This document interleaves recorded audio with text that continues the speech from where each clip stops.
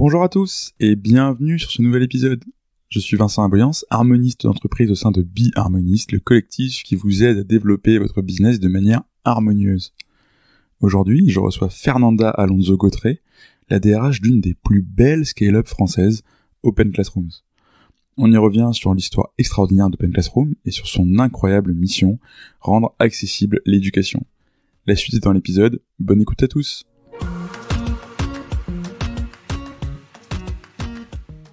Bonjour Fernanda. Bonjour Vincent. Comment est-ce que tu vas? Moi je vais bien et toi? Bah écoute, super bien. Euh, il fait super beau ici à Paris. Toi tu es à Londres je crois? Je suis à Londres et c'est pareil. C'est une journée super belle ici à Londres, donc ça fait du bien. Ah super. Euh, bah écoute Fernanda, pour euh, rentrer directement dans, dans, le vif du sujet, je pense que tous nos auditeurs ont vraiment hâte de te connaître. Euh, est-ce que tu peux te présenter s'il te plaît? Oui, euh, d'abord, merci beaucoup pour cette invitation. Je suis super contente de pouvoir parler avec toi. Moi, je suis Fernanda Alonso Gautret, j'ai 43 ans euh, et je suis depuis mars euh, 2021, donc ça fait pas longtemps, Chief Human Resources Officer de Open Classroom. Euh, j'ai commencé ma carrière au Brésil en tant qu'avocate de droit des affaires internationales. J'ai bougé un peu partout, donc j'ai habité en France, après ici en Angleterre. Et en 2008, on m'a proposé euh, de prendre en charge aussi une direction RH, au-delà de la direction juridique que j'avais dans une start-up dans les énergies renouvelables. Et c'est comme ça que je découvre le métier des ressources humaines. Je n'étais pas très attirée au début, je trouvais que c'était un peu vieux jeu à cette mmh. époque-là.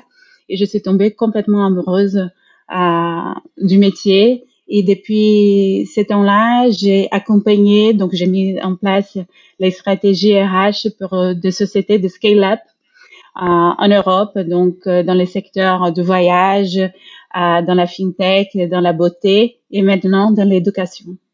Qu'est-ce qui t'a fait tomber amoureuse du coup des, des RH parce que c'est pas forcément un parcours qu'on attend quand on était avocate en droit des affaires internationales. Quoi. Ouais, mais je pense que euh, la peur que j'avais euh, avant de commencer en tant qu'RH, c'était euh, est-ce qu'on avait un impact important sur la société, sur le business? Quand tu es directrice juridique, tu vois pas mal de contrats à passer, tu fais des acquisitions et tout ça.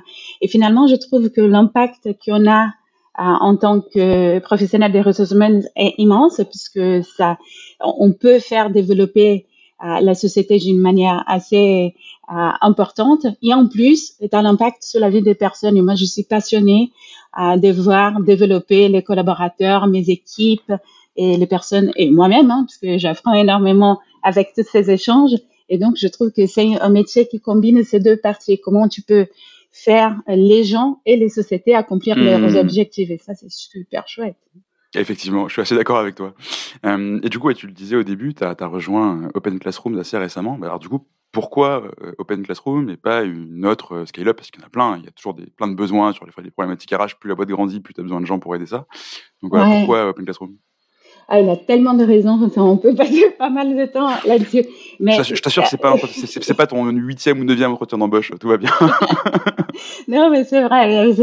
Donc, euh, quand Pierre, qui est, qui est le CEO de euh, Open Classrooms, m'a contacté et a commencé à expliquer l'ambition de la société, j'étais très attirée euh, par cette euh, folle envie de croissance et folle envie d'impacter euh, euh, la communauté et, et les secteurs aussi.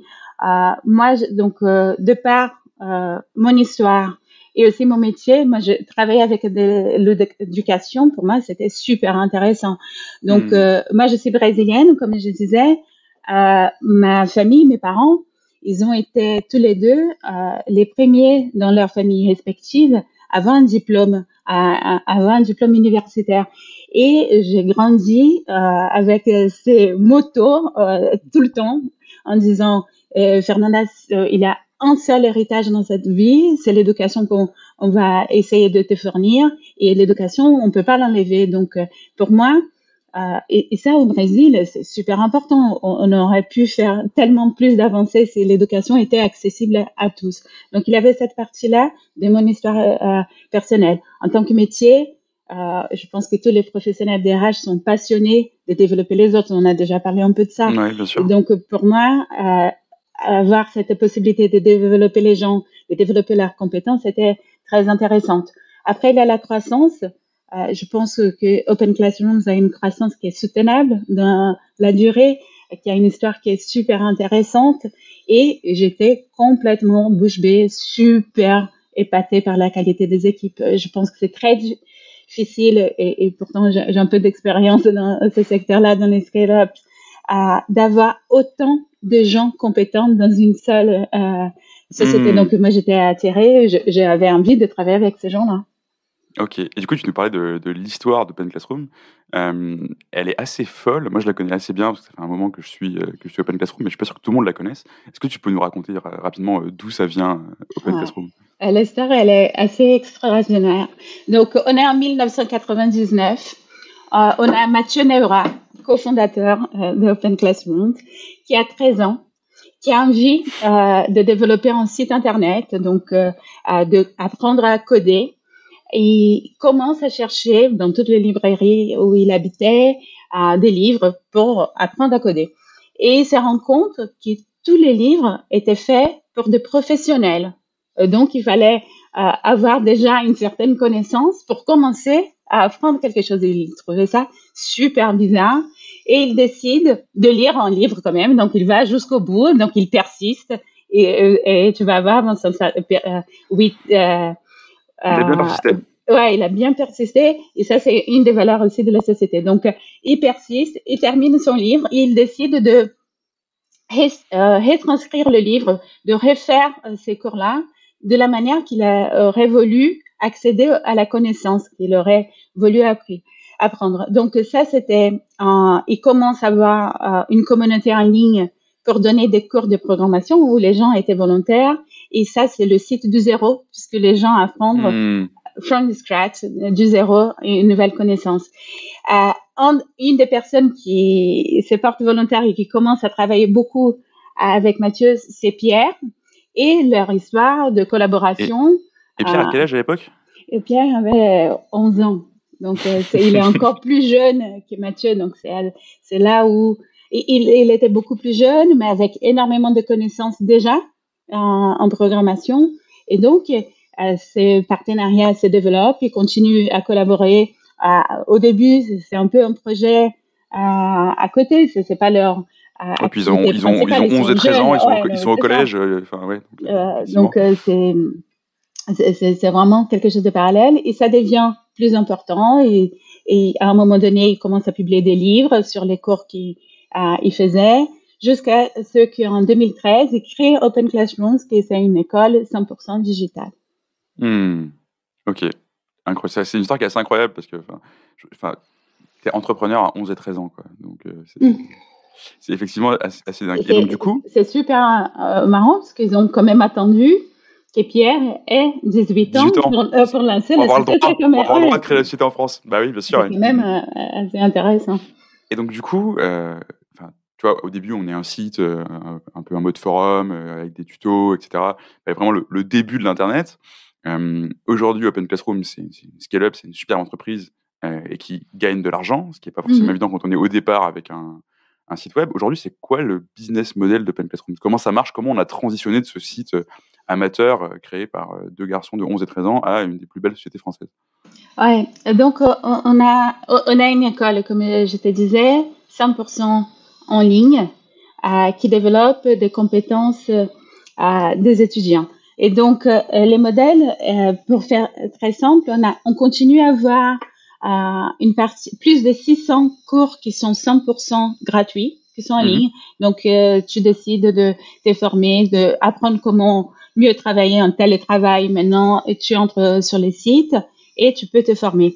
On a euh, à peu près 400 000 étudiants par mois qui sont inscrits et qui sont formés et ça depuis 140 euh, pays différents. Donc ça, c'est l'offre gratuite qu'on a toujours. Cette idée, et c'est la mission de rendre euh, l'éducation accessible et accessible, c'est non seulement l'accès à, l'outil de, formation, mais la façon dont cette mmh. formation est accessible, donc euh, euh, et comment elle est déployée. Et à, cela s'ajoute une autre gamme, une gamme euh, plutôt une licence euh, qui donne des, que ce soit aux étudiants ou aux entreprises, des accès à un suivi plus particulier, un accompagnement plus détaillée. Donc ça, c'est une offre premium, une, licence. Et on a, euh, en plus de ça, qui est aussi payant, mais avec différents types de possibilités en termes de financement, on a 55 parcours diplômants. Donc c'est des parcours qui sont reconnus par l'État français et on commence à, faire une expansion aussi internationale là-dessus, qui est euh, on rajoute euh, quelque chose de très particulier, qui c'est une garantie à l'emploi. Donc, euh, un étudiant qui termine une formation diplômante chez Open Classrooms, d'abord, il est accompagné par un coach pour trouver de travail. Hmm. Et si jamais il ne trouve pas de travail dans les six mois suivant la fin de sa formation, il, il aura les frais remboursés. Donc, ça, c'est super intéressant. Et si tu peux me permettre, euh, il y a une partie aussi qui est, qui est assez brillantissime, c'est la pédagogie. On a une pédagogie qui est super innovatrice.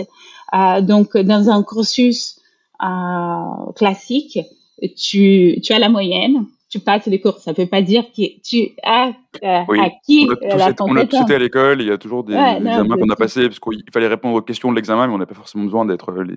Ouais, appris, appris réellement quelque chose. quoi. Et donc, chez nous, c'est différent puisque euh, on développe vraiment des compétences et pour développer ces compétences, donc tu peux pas avoir 50% de la compétence développée, il faut qu'elle soit acquise à 100%. Et pour hmm. faire ça, c'est des projets professionnels euh, qui sont très détaillés. Euh, donc, c'est une combinaison des cours, des projets euh, professionnels et aussi des séances de mentorat. Donc, c'est une école en ligne mais tu as une fois par semaine un accompagnement d'un mentor qui va te guider. C'est pas un prof, mais c'est quelqu'un qui te guide sur euh, ces parcours-là. Donc, c'est super intéressant. Et en fait, ce, qui est, assez différent, je pense, chez Open Classroom de d'autres plateformes, de, MOOC ou autre, c'est que vous, vous êtes très impliqué dans la pédagogie, dans la création du cours. Mm. Ce n'est pas juste n'importe quelle entreprise ou quelle école qui vient poser son cours euh, sur votre plateforme et vous avez un cours fait par HEC ou X ou qui vous voulez. quoi. On n'est pas un marketplace, non? On mm. est une école. Euh, donc, on a des ingénieurs euh, pédagogiques. c'est ça, qu'il faut, qu'il faut, faut, que les, gens réalisent. C'est vraiment, vous, enfin, voilà, ah. vous êtes une école en ligne, vraiment. Quoi. Ouais. Et, et, avec une qualité de contenu qui est, qui est, très, très importante. Si tu penses aussi, euh, il y a dans la partie, comme on a pour la partie gratuite, c'est une licence, une creative licence. Donc, Hmm. Tout le monde peut utiliser. C'est pas qui en termes de pour l'usage personnel, mais tu peux utiliser un cours Open Classrooms aussi pour, euh, le, les collaborateurs entreprises. Ouais, ouais. tous les cours euh, gratuits. Et il y a cet accès-là. Et même dans des, il y a pas mal euh, d'écoles qui utilisent euh, nos cours. Hein, D'accord. C'est une façon aussi. Donc c'est super intéressant. Ok. Alors du coup, si on s'arrête un peu sur, tu nous as parlé de la mission d'Open Classroom. Donc, rendre l'éducation accessible.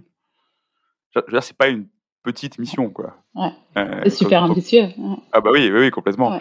Et tu vois, quand on pense à, l'éducation, à la rendre accessible, etc., euh, on pense pas forcément à une entreprise. Enfin, tu vois, c'est plus quelque chose euh, d'intérêt général. quand, moi j'étais à l'école, mm. justement, on nous apprenait, oui, l'éducation, c'est une mission de l'État, etc., euh, etc. C'est comme ça que la France s'est créée, grâce à l'éducation en partie, on a créé une communauté, etc. Aujourd'hui, comment on fait pour être une, entreprise avec un modèle donc lucratif qui euh, assume une mission euh, d'intérêt général? Je pense que déjà, les défis qu'on a, ils sont tellement, en tant que société, ils sont tellement importants qu'imaginer que l'État tout seul ou l'État plus les citoyens puissent régler euh, ces défis-là, que ce soit dans les questions sociétales ou environnementales, je pense que c'est plus possible. Donc euh, nous, euh, on a eu depuis le début on, envie d'impacter la société, d'échanger la vie des personnes. Et, depuis 2019, on a mis cette mission dans les statuts hmm. de Open Classrooms et après avec la loi Pacte en 2020, on est une entreprise à mission où ça veut dire que on combine non seulement l'intérêt euh, plutôt économique, hein, puisqu'il faut qu'on se développe économiquement, mais aussi euh, cette notion d'un bien commun, donc d'intérêt général, qui est vraiment au cœur de notre modèle économique. Je pense que c'est ça mmh. qu'il faut penser. On peut avoir un impact si cela est vraiment dans les gènes et, et, et dans le cœur du modèle économique de l'entreprise effectivement, on va revenir là-dessus, mais tu vois, il y a un truc que tu as dit qui, m'intéresse beaucoup, c'est aujourd'hui pour régler des telles problématiques, c'est plus que l'État ou que l'entreprise ou que un acteur, je sais pas, le secteur associatif par exemple, qui peut le faire. Et c'est assez intéressant parce que justement en France, pendant longtemps, on a eu tendance à opposer euh, secteur privé, secteur public. Euh, enfin, en gros, on dit que c'est pas possible de travailler avec l'État parce que c'est trop long, etc. Vous, vous le faites beaucoup, si je me trompe pas. Euh, vous avez des partenariats avec l'État français. Il y, a, plusieurs présidents qui sont passés euh, chez, chez Open Classroom, etc. J'ai le souvenir de François Hollande qui était venu remettre les, des diplômes, je crois. Euh, justement, Comment marche ce, modèle de collaboration entre une, start-up et l'État, qui sont quand même les deux entités les plus éloignées qu'on puisse imaginer dans l'imaginaire commun? On est très proche dans, plein de sujets, puisqu'il y a cette question euh, de vraiment de mettre l'intérêt général avant l'intérêt de l'entreprise. Donc, on a des collaborations à, plusieurs niveaux avec l'État français ou avec euh, des entités euh, publiques. Donc, dans certains cas, euh, par exemple, il a la fonction publique et notre cliente. Donc, je, je pense à la gendarmerie euh, nationale qui a formé euh, ses fonctionnaires dans l'intelligence artificielle avec nous. Donc, euh, c'est nos clients aussi. Donc, euh, donc, ça, c'est intéressant. C'est un partenariat qui marche très bien. Et il y a aussi cette partie, et surtout après la crise avec cette pandémie, avec la Covid et tout ça depuis euh, mars 2020 et l'impact qu'il a eu euh, dans euh, la possibilité d'avoir un emploi. On a des collaborations très puissantes avec Pôle emploi, avec la région Île-de-France pour pouvoir développer les, les demandeurs d'emploi et donner des possibilités. Donc, on ne peut pas euh, penser que l'État, comme j'avais dit avant, peut faire tout seul, mais nous, comme entreprise, on peut pas faire tout seul non plus. Mmh, Donc, euh, c'est une collaboration. Et dans nos, euh, chez nous, c'est pour ça que je disais, on, est beaucoup plus proche qu'on ne paraît. On a aussi pas mal de gens qui viennent du secteur public, qui ont travaillé dans des organismes de formation. Donc, donc on a cette connaissance aussi. Ok, oui, effectivement, je te confirme en termes de partenariat avec la région Île-de-France, à l'heure où on enregistre ça, je peux pas sortir de chez moi sans voir une affiche Open Classroom. Donc, je suis trop contente. Donc effectivement, on, est on, vous voit beaucoup. ouais, on est très euh, fiers. Et du coup, pour revenir sur le, la partie entreprise à mission, parce qu'effectivement, tu en as parlé, il y a la loi Pacte, etc., qui a fait entrer ça de manière officielle dans les textes. Euh, mais une entreprise à mission, c'est pas juste une entreprise avec une mission, entre guillemets. C'est un vrai statut, ça, mm. qui implique des, de mettre en place beaucoup de choses. Est-ce que tu peux nous expliquer comment tu le vis chez Open Classroom? Qu'est-ce qui est différent entre euh, une entreprise à mission et une, scale-up euh, entre guillemets traditionnelle?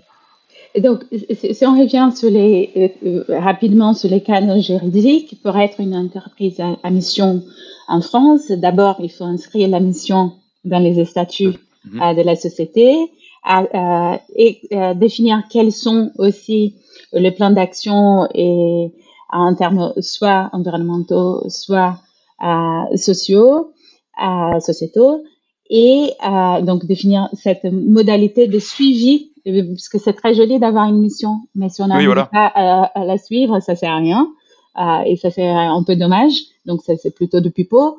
Euh, donc, il faut faire euh, avoir un, organisme qui suit cette mission, euh, avoir des règles de gouvernance aussi qui sont très claires là-dessus. Et après, un organisme tiers, donc euh, c'est vraiment comme un commissaire au compte qui va vérifier si tu es en train de accomplir ta mission avec euh, les indicateurs. Chez nous, comment ça se passe? Donc, donc ça, c'est le cadre juridique, c'est la loi, euh, pacte. Chez nous, euh, la, la situation est la suivante. On a constitué un comité mission avec toutes les parties prenantes euh, de l'entreprise. Donc, c'est super intéressant.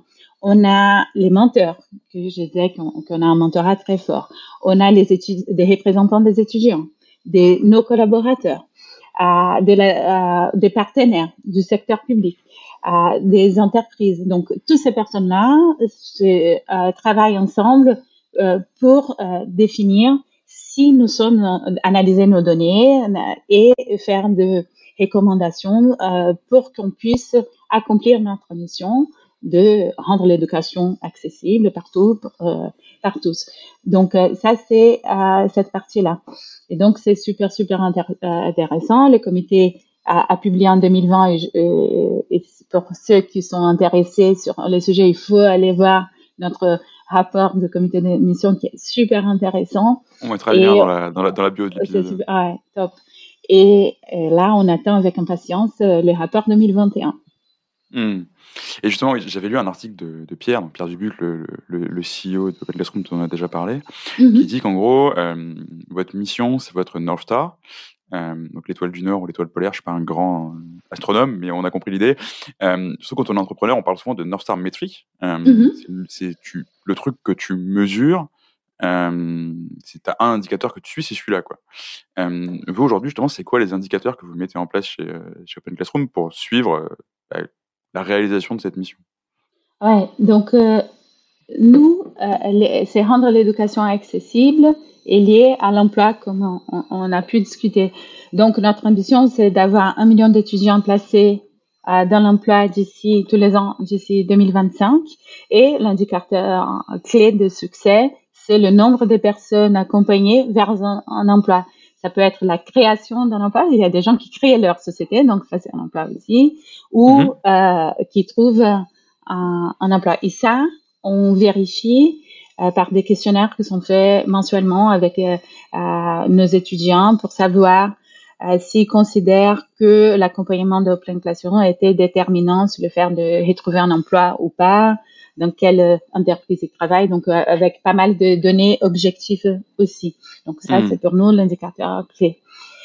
Euh, c'est cet indicateur, il est vécu en interne de, de façon très forte. Hein. Donc, euh, les, euh, je pense que déjà l'étudiant a une place toute euh, spéciale chez Open Classrooms et, ça c'est très intéressant euh, puisqu'on, par exemple, dans le parcours d'onboarding qui c'est en cours, on a oui, oui, oui, que, j'ai regardé d'ailleurs, qui est super. Hein, pour, on a deux cours qui sont super intéressants. Donc, il y a How do we work que tout le monde peut regarder. C'est un peu la première partie, le premier accès à, à la société. Et après, quand, une fois que tu commences à travailler chez Open Classroom, c'est un, un, onboarding path. Donc, c'est vraiment un cours, euh, un parcours, euh, comme les parcours que les étudiants ont, donc pour qu'on puisse euh, connaître les produits.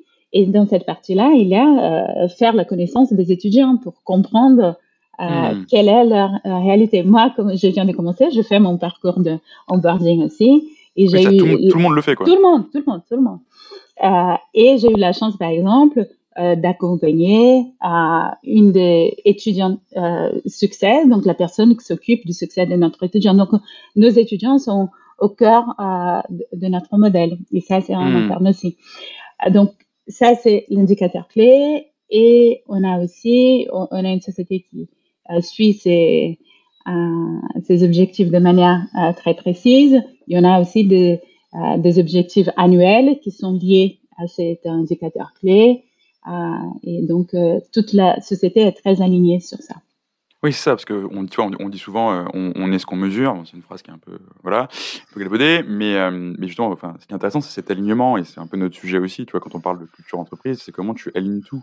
Tu alignes ta mission, tu alignes ta marque employeur, le recrutement de tes collaborateurs, l'onboarding de tes collaborateurs, les processus, les objectifs euh, et finalement ton organisation.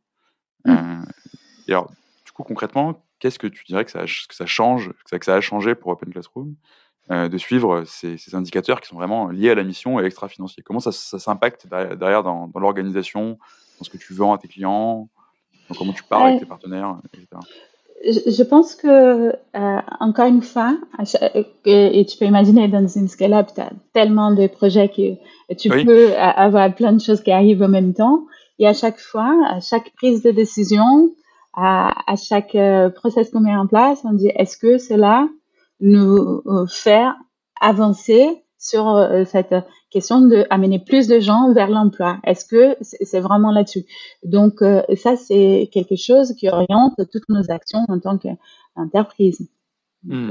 Et, ça, c'est tout le monde qui, est capable de se poser cette question. Est-ce que ça a été diffusé, est-ce que ça diffuse et ça infuse dans, dans l'ensemble de, de, de, l'équipe d'Open Classroom, ou est-ce que c'est quelque chose qui va être checké euh, de manière top-down Non, c'est complètement bottom-up et c'est ça qui est très chouette.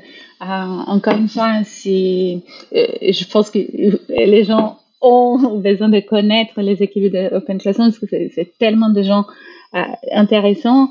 donc, il y a cette, on, fête une commission diplômante, quand on sait qu'on a eu des étudiants qui ont obtenu leur diplôme dans l'ISLAC, euh, c'est tout le monde est super content, c'est la folie puisque on sait qu'on est en train d'impacter ces gens-là.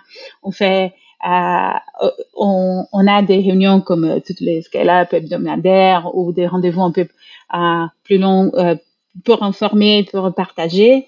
Euh, l'étudiant a une place importante. Euh, donc euh, ça et l'impact ou même les partenaires. la première réunion à laquelle j'ai assisté, c'était une discussion super intéressante avec quelqu'un du Pôle Emploi qui expliquait quels sont les vrais métiers en tension et la difficulté qu'on a d'accompagner des jeunes. Donc ça c'est très très vécu par l'ensemble des hmm. équipes. Ok. Et alors, du coup, tu parlais de, de scale-up, tu sais qu'il y a beaucoup de projets. Et Open Classroom, c'est une boîte qui est un peu unique, euh, enfin en tout cas en France au moins, au sens où enfin, c'est une scale-up, mais c'est aussi une boîte qui a 20 ans.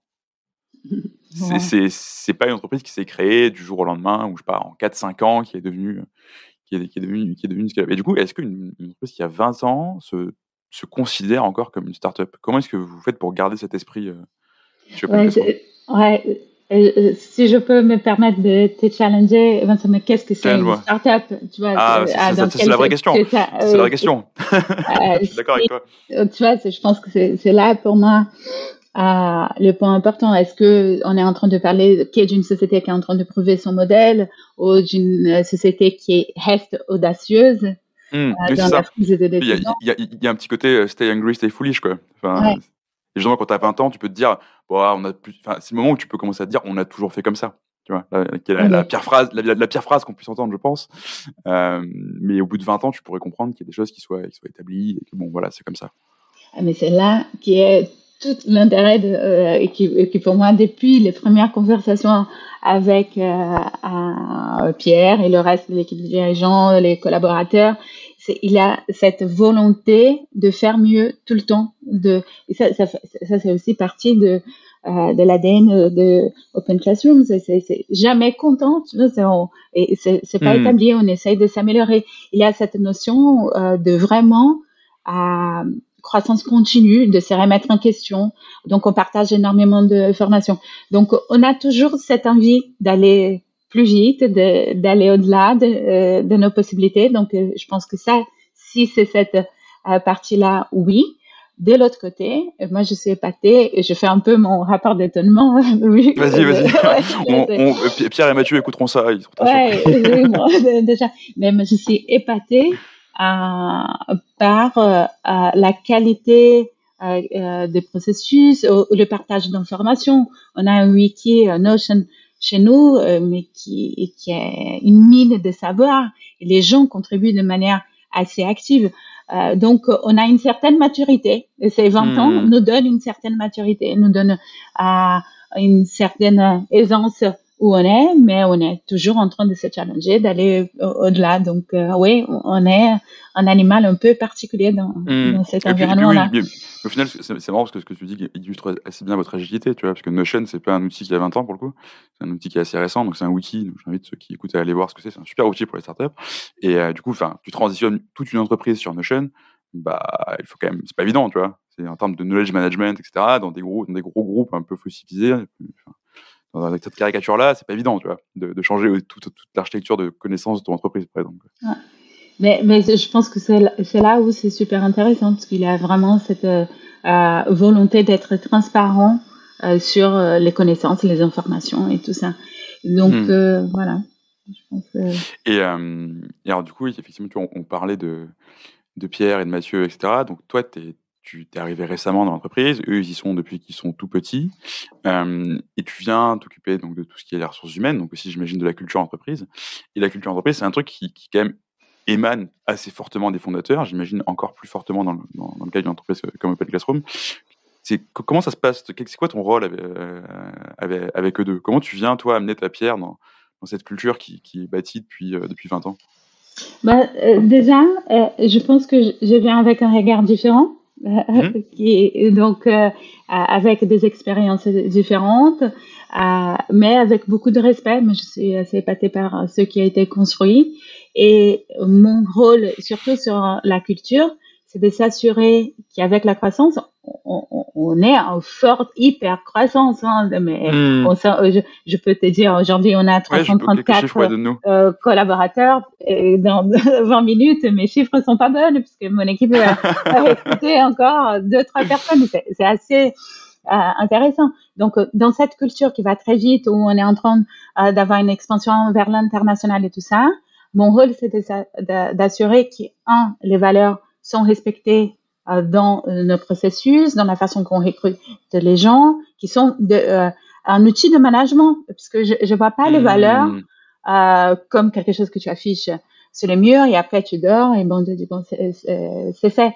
Non, euh, les valeurs vont évoluer euh, probablement dans le futur puisque la société va aussi changer, j'imagine. Tu vois, c'est normal euh, qu'on les fasse évaluer, mais il reste les ADN et où on veut. Et hmm. pour l'instant, il faut que ces valeurs-là soient traduites dans tous nos processus, dans c'est comment on fait progresser les gens, comment donc les, les, promotions, les mobilités euh, et la façon dont on, traite les collaborateurs en interne. Hmm.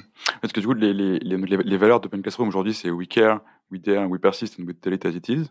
Tu me dis si je n'ai pas dit une bêtise. C'est euh, exactement ça. Hmm, parfait.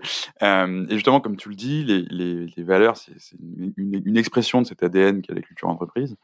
Euh, le but, c'est pas de les afficher sur les murs. as tout à fait raison. Alors du coup, Comment tu fais pour, comment est-ce que vous avez fait pour les décliner? Parce que ce qui est intéressant, c'est comment tu les déclines d'ailleurs dans des comportements, dans des actions, dans des processus. comment est-ce que tu fais ça et comment tu t'assures justement que ces choses-là restent vivantes avec l'hypercroissance?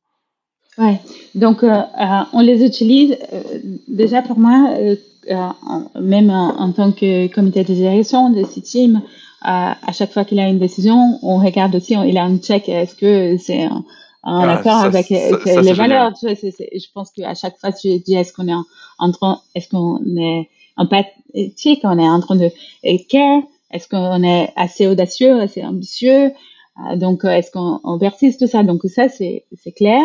Après, euh, ça se décline. Je te donne un exemple euh, très concret, c'est un des projets qu'on a aujourd'hui. On, on, est en train de faire un assessment de tous nos leaders, les managers et les mm-hmm. leaders de, de la société. Et euh, on a travaillé sur une grille de compétences parce que, comme nos formations, on est super alignés. Tout, tout, est cohérent. Tout est cohérent. donc, on, on, utilise cette euh, euh, grille de compétences euh, pour euh, voir où est-ce que le, le, manager est et dans quelle partie, quels sont les axes d'amélioration parce qu'on a tous envie de s'améliorer et euh, les valeurs sont euh, dans cet assessment. On peut pas. Est-ce que les gens sont vraiment à l'écoute de l'autre? Puisque euh, quand on dit care, oui, est-ce que tu entends qu'est-ce que ton collaborateur dit? Est-ce que tu es vraiment empathique, empathique? Et, tout ça. Donc, euh, elles sont là, elles sont dans notre processus de recrutement. Euh, on, parle beaucoup de ça. Euh, donc, c'est ouais, je, je les vois partout, sincèrement. Non, mais oui, mais effectivement, c'est ce qui se dégage de ce que, de ce que tu dis. C'est vraiment une, une, cohérence à, à 360 degrés, qui est un peu notre slogan, nous, chez, chez, chez justement. Mm. Et, et, tu vois, ce que je trouve génial, ce que tu dis sur les, les valeurs, c'est un vrai guide de décision. Parce qu'effectivement, nous, c'est ce qu'on prêche, ça, ça doit être ça. Même, tu vois, tout le temps au niveau du, du, du CODIR, du comité de direction, je sais pas comment tu l'appelles chez, chez Open Classroom, euh, mais mm. même au niveau de, de n'importe qui, en fait n'importe quel manager, n'importe quel euh, salarié qui n'est pas forcément manager, c'est comment tu vas, tu vas pouvoir prendre tes décisions tout seul. Et justement, ça libère quelque part bah, justement les, managers et, c'est incrémental. C'est-à-dire que tu es vachement plus confiant dans tes équipes euh, quand tu sais que les, valeurs sont incarnées, qu'elles sont descendues partout, que tout le monde les vit de la même façon. Ouais. Euh, je pense que c'est super puissant s'il y a cette cohérence et c'est ce qu'on est en interne représente ce qu'on est en externe et tout ça. Euh, et je pense que et ça, ça, fait partie aussi du processus de recrutement. Euh, avoir des valeurs fortes, par contre, ne veut pas dire recruter que des gens qui sont pareils, puisque ça, ça serait dommage. Non, heureusement, oui. ça, c'est super important d'avoir en tête quand on parle de valeurs dans le recrutement. C'est les valeurs d'entreprise, mais c'est aussi à permettre aux gens d'exprimer ça de, leur façon. Tout à fait. Je pense que ça, c'est super important. D'où l'importance d'être très clair, très simple. Je pense que uh, less is more dans hmm. plein de choses, hein, mais pour qu'il ait cette cohérence et que les gens se sentent vraiment en ligne avec ça. Du coup, c'est intéressant ce que tu dis sur ne, pas recruter que des gens qui sont, qui sont pareils. Donc, effectivement, les valeurs viennent, enfin, la culture vient créer ce cadre un cadre d'expression. En fait, tu peux faire ce que tu veux tant que tu restes sur le terrain de jeu, en gros. Enfin, mm. Si tu veux jouer comme Messi ou si tu veux jouer comme Ronaldo, c'est ton choix, mais tu restes sur le terrain. Quoi.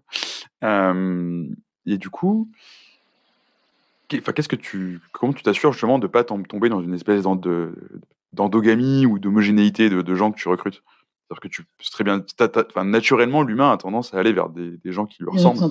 Tu vois, ça, ça c'est réconfortant, ça n'a pas posé de problème, il a comment, on se comprend plus vite, donc ça va être plus efficace. Et pourtant, donc, ce que je me dis, c'est que vous essayez quand même de faire attention à ce qu'il y ait une certaine diversité. Comment est-ce que ça marche et pourquoi est-ce que c'est aidant pour, euh, pour Open Classroom?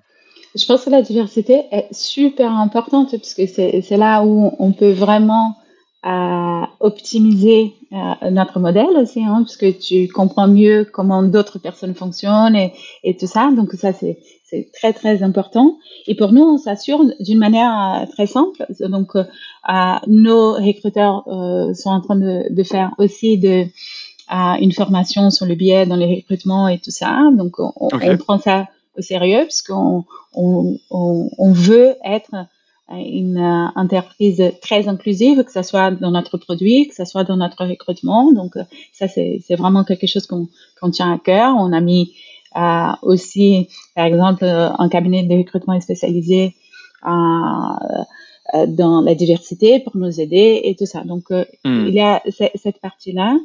Et il y a aussi, on se challenge beaucoup. Et donc, surtout parce qu'on a une partie euh, de, de, recrutement que c'est les cultural fit, donc est-ce que la personne est en ligne avec ça? Mm-hmm. Et à chaque fois, quand on reçoit, euh, par exemple, un commentaire en disant oui, la, la personne est peut-être un, un, peu comme ci, un peu comme ça, euh, on, on, va aller plus dans les détails pour que ça soit des choses vraiment à argumenter, que ça soit pas des a priori. Et je pense que ça, c'est mon obligation en tant que Chief Human Resources mmh. c'est de s'assurer qu'on a un processus qui est complètement juste et, qui n'est pas dévié. Et que ça, il faut former, il faut discuter, il faut challenger. Et, et du coup, n'importe qui peut, peut, faire passer un entretien et entre guillemets, tu vas drastiquement réduire le, le feeling personnel en fait, même si c'est important. Mais en gros, c'est tu vas pas recruter que des, enfin, la personne en face va pas recruter que quelqu'un parce, parce qu'il lui plaît entre guillemets quoi. Ouais. C'est sûr, ou qu'il a fait les mêmes études, ou euh, exactement, oui, bien sûr, tout ça. Bien sûr. Donc, tout à fait. Ah, surtout chez Open ce serait quand même ballot de prendre que des gens qui, ont, fait, qui ont, fait, les mêmes études. C'est dommage quand même. Donc euh, voilà, et, et ça, mais euh, c'est euh, une routine, c'est une hygiène de vie. J'aurais dit non, il faut se challenger, il faut est-ce que on, on, est en train d'aller dans la bonne voie là-dessus. Je, ne veux pas qu'on croie que c'est que ça la diversité, mais il y a quand même un fait euh, qui, que j'avais vu en, préparant ce podcast. Je crois que chez Open Classroom, vous êtes la seule startup euh, française qui a plus de femmes que d'hommes, si je me trompe pas. Ouais. Euh, et c'est, tu vois, c'est pas forcément. Enfin, encore une fois, la diversité, c'est bien plus que ça, mais je trouve ça intéressant dans une boîte tech d'avoir fait ça, parce que, enfin, on dit souvent que la tech, c'est un milieu qui est très masculin, etc. c'est quoi ta vision sur ce, sur ce sujet? Ouais, on est, on a envie euh, de vraiment être euh, une entreprise euh, qui valorise la diversité et l'inclusivité. Pour te donner une idée, aujourd'hui, dans les comités de direction, donc la sitting qu'on appelle mm-hmm. chez Open Classrooms, on est trois femmes avec des parcours assez différents. On a une, donc notre Chief Product Officer, c'est une femme mm-hmm. qui est aussi en tête de la tech.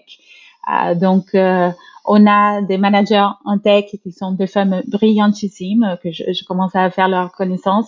Donc, euh, on, on, a cette partie-là de l'égalité homme-femme qu'on essaye de s'améliorer. C'est, c'est pas parfait, hein? on, a encore plein de choses à mettre en place. D'ailleurs, c'est un de mes, euh, de mes chantiers. Mm-hmm. je travaille avec mes équipes sur un projet parentalité. On, on, a envie de rendre la, euh, cette égalité aussi chez les gens. Et donc, on, on va être assez ambitieux euh, dans ces projets pour permettre au papa aussi de, de, devenir, ouais, mais de devenir de bons parents et de participer plus pour développer les femmes.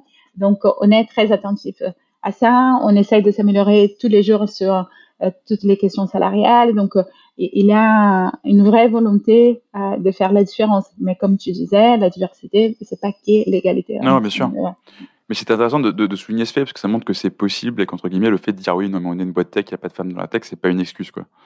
Oui, non, c'est euh, exactement ça, c'est pas une excuse. Et on forme plein de femmes dans la tech avec nos, nos ah, formations. Euh, donc, voilà, donc là, on fait la boucle. alors, un, dernier point, après j'arrête de torturer sur des problématiques RH qui sont au quotidien.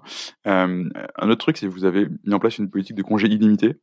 Ouais. Euh, c'est un truc, la première fois que j'ai vu ça, alors pas chez Open Classroom, hein, parce que j'ai vu ça dans d'autres boîtes, mais je trouve ça, ah, c'est génial. Et après, en lisant, t'as l'impression qu'en fait, tu prends, as des, congés illimités, mais en fait, du coup, les gens les prennent jamais parce que c'est illimité et du coup, as pas, tu vas pas poser tes jours pour les finir, etc. Donc, en fait, les gens prennent moins de vacances que ce qu'ils auraient eu avec des jours normaux d'entreprise traditionnelle. comment ça, ça marche, ça, chez, chez, chez Open Classroom?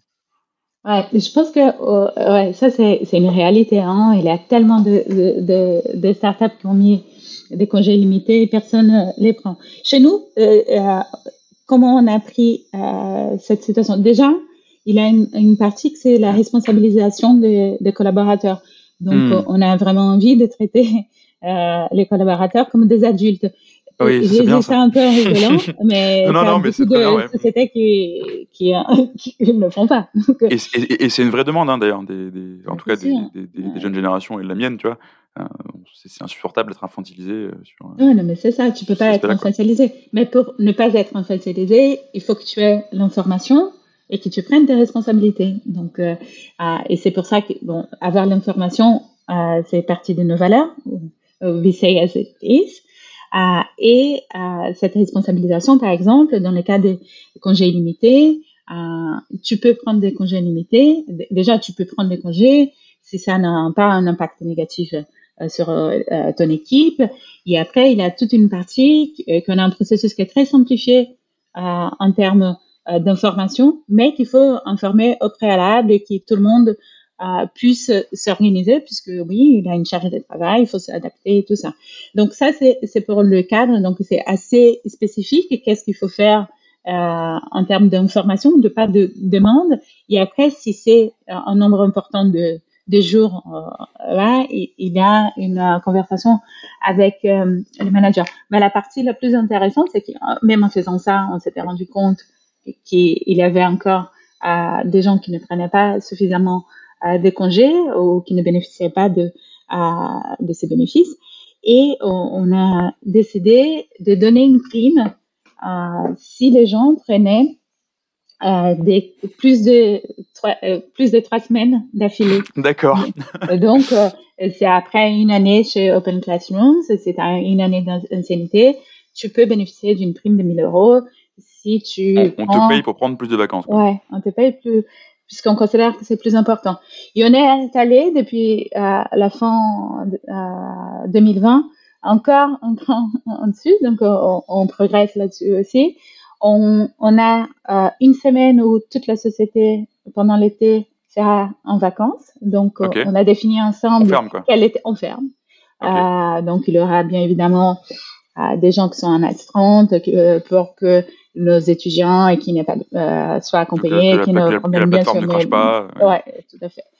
Euh, mais donc euh, en, en août on aura ça. Et il y a aussi une semaine en décembre. Et ça, ça a été fait d'abord, comme je disais, à la fin 2020. Et les gens étaient super contents de voir que pendant que tu pars en vacances, il n'y a pas ton, ton mail qui, explose, tout, ouais. tout ça, cette angoisse. Donc, on essaie d'accompagner beaucoup là-dessus.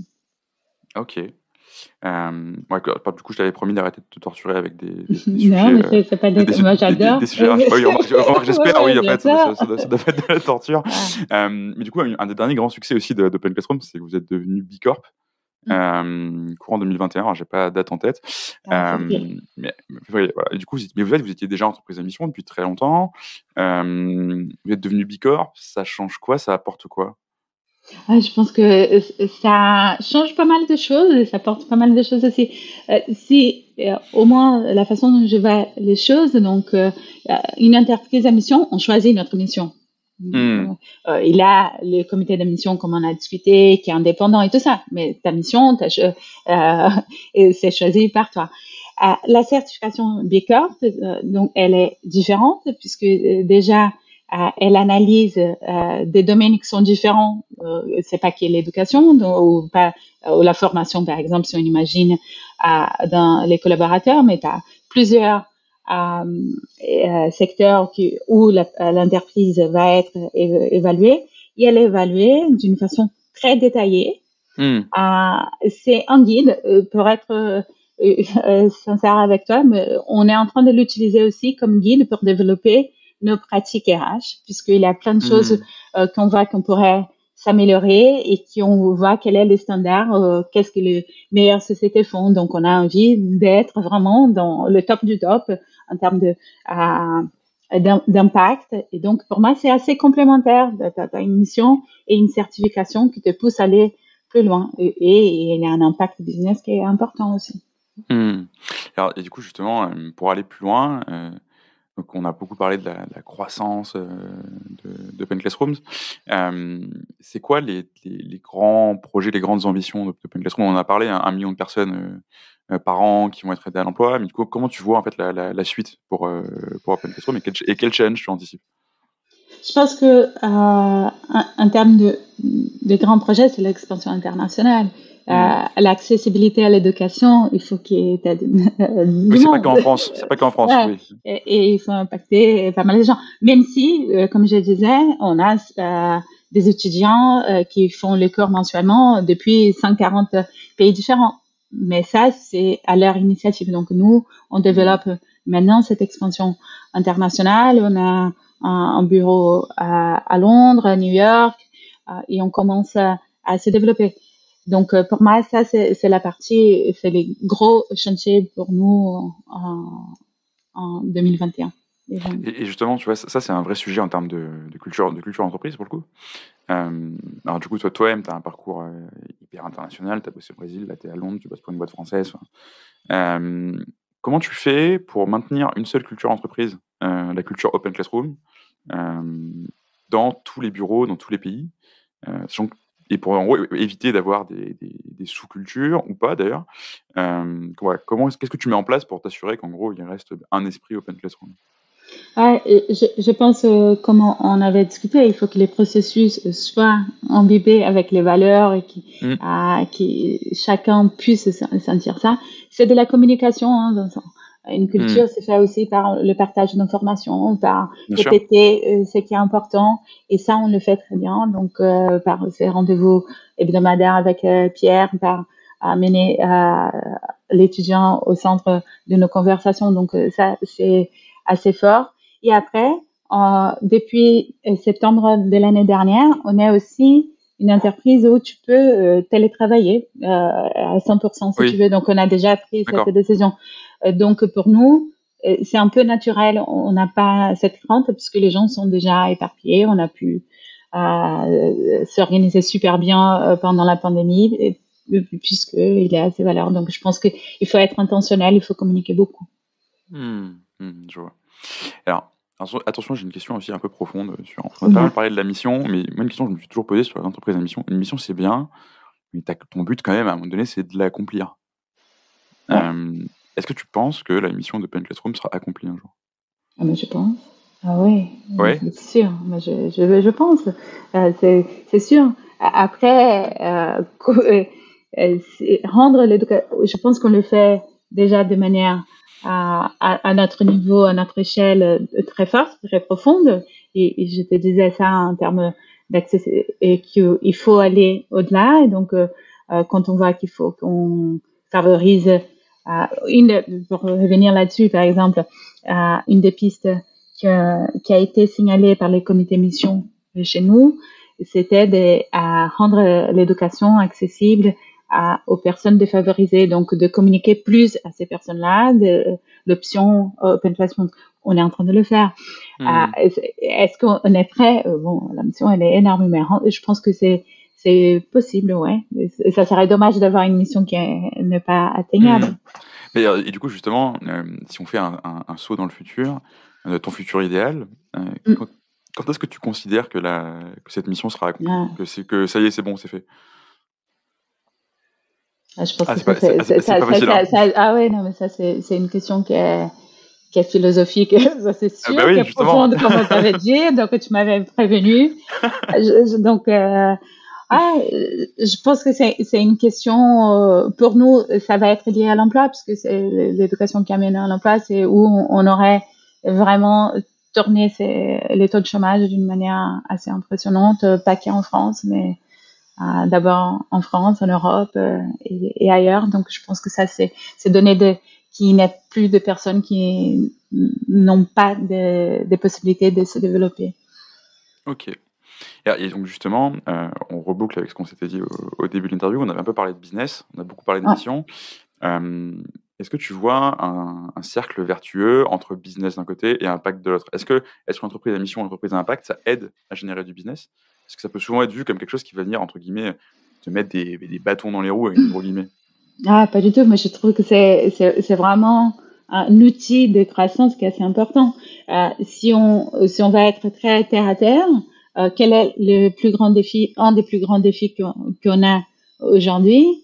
En tant qu'entreprise, c'est avoir les talents pour délivrer euh, nos ambitions. Hmm. Donc, il faut attirer les talents, il faut les développer, il faut les convaincre de, de, cette mission. là, être une entreprise à mission est un, un grand plus en termes de marque employeur. J'ai participé à pas mal de processus d'interview depuis euh, matrice de fonction, c'est rare que n'ait pas quelqu'un qui dise mais je veux je crois dans l'éducation j'ai envie d'impacter les gens donc euh, je suis très contente euh, est Open Classrooms a une interface à mission ou que vous êtes certifié B Corp donc ça pour moi il y a un impact hmm. business qui est qui est, énorme. qui est énorme et après aussi ça rapproche aussi à des partenaires qui pensent de la même façon que nous. Donc, on, a un partenariat assez intéressant aux États-Unis avec Guild. C'est une entreprise aussi à euh, B Corp qui, se développe euh, dans plein de sujets et qu'on s'inspire euh, mutuellement. Donc, je pense qu'il y a pas mal de, connexions aussi. Ça, ça donc, pour moi, surtout, donc pour résumer, marque employeur, ça c'est sûr. Il y a aussi des partenariats ce soit avec les publics ou privés, sur des, des projets super intéressants. Ok, alors juste Yield, c'est une boîte qui fait quoi? Parce que je la connais pas. La marketplace euh, dans, la dans l'éducation aussi aux États-Unis. Ok, d'accord, ça marche. Regarde, c'est super intéressant. Ah oui, je vais aller voir. Euh, et alors, oui, une femme fondatrice euh, et, ah, ok. Hein, et donc du coup, c'est hyper intéressant ce que tu dis, parce qu'en créant du coup bah, cette mission, la culture qui va avec, etc. En fait, tu fonctionnes un peu comme un aimant. C'est-à-dire que tu attires les gens qui ont, qui ont la, bonne, la bonne polarité. Alors, je suis pas non plus euh, ingénieur euh, sur tout ce qui est magnétisme, mais tu, tu vas attirer les gens et les partenaires qui ont la bonne polarité, et à la limite, le reste, tu le repousses, et c'est pas grave, quoi. Enfin, tu, il y a que les, les, les, gens qui, qui sont résonnants, c'est le mot qu'on emploie, qui viennent vers toi, quoi. Ils viennent naturellement. Mais, tu sais, euh, et peut-être pour, pour faire moi, c'est aussi m'a beaucoup attiré euh, chez Open Classrooms. Euh, c'est euh, c'est rare d'avoir euh, une entreprise mission avec autant d'ambitions commerciales aussi à la même bah fois et mmh. d'exigences. Et je pense que c'est cette combinaison qui nous fait très puissants. Tu vois, tout à fait. Euh, alors, du coup, j'ai une dernière question pour toi, pour te mettre un peu à contribution pour, pour tous nos auditeurs qui écoutent et euh, tous les dirigeants qui, euh, qui t'écoutent, euh, qu'est-ce que ce serait le conseil que tu donnerais à un, dirigeant d'entreprise qui hésite à, à travailler bah, du coup sur sa mission, à devenir entreprise à mission et même à travailler de manière plus large sur l'ensemble de sa culture d'entreprise? Ah, je pense que c'est déjà trop tard, qu'il aurait fallu commencer. Ah non, leur, dis pas ça, c'est terrible. non, je rigole, non, je rigole. Euh, non, je, je, pense que c'est super important. Le conseil, c'est euh, il faut euh, prendre soin de la culture, il faut développer euh, une euh, société qui soit en ligne, en interne et en externe. Et pour ça, il faut se connaître beaucoup. Je pense que ça, c'est important de, c'est un travail qui s'est fait top-down, bottom-up, avec les parties prenantes pour vraiment avoir cet alignement, avoir une culture qui est d'affichage, ce serait dommage. Donc, il faut que ça soit quelque chose qui, qui vient vraiment euh, de l'intérêt de, de, la société, qui est en conformité avec ça dans tous ces domaines. Donc, je pense que cette cohérence est super importante. Ok, merci beaucoup Fernanda. Euh, une dernière question, est-ce qu'il y a une question que tu aurais voulu que je te pose et que je t'ai pas posée?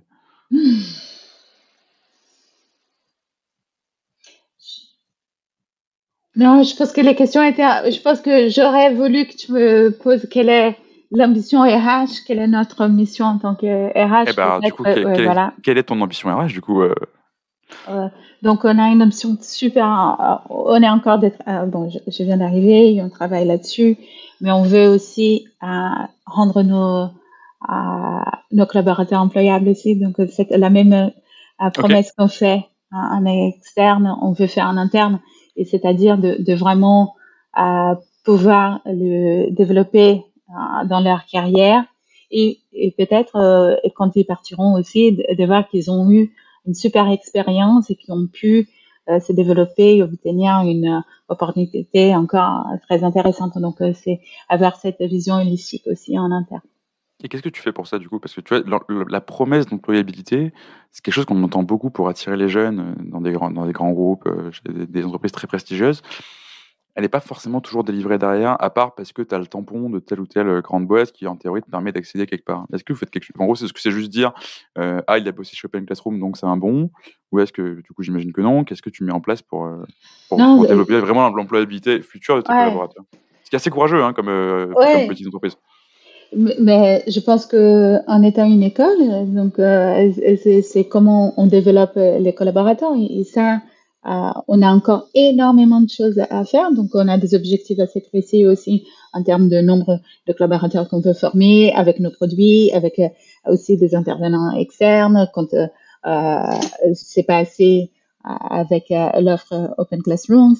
Euh, donc, euh, il y a cette volonté de, de, rendre les collaborateurs chez Open Classrooms meilleurs, qu'ils apprennent à, à développer d'autres compétences et, et qu'ils soient en, mobilité.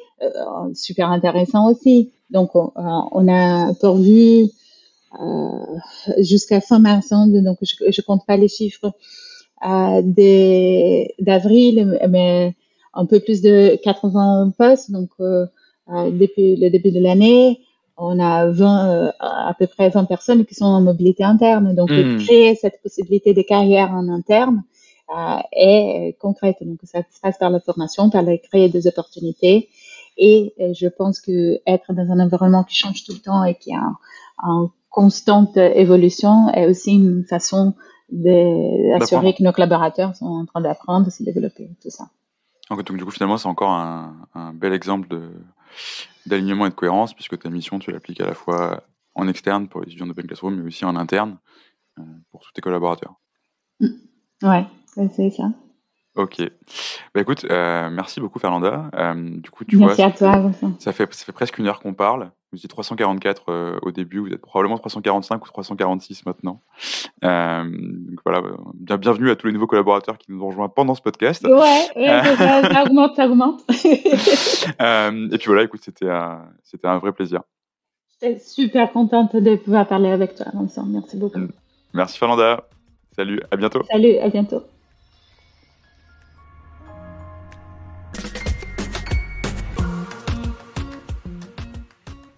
Merci à tous d'avoir écouté cet épisode. Si ce podcast vous a plu, vous pouvez vous abonner et laisser une note et un commentaire si vous êtes sur Apple Podcast.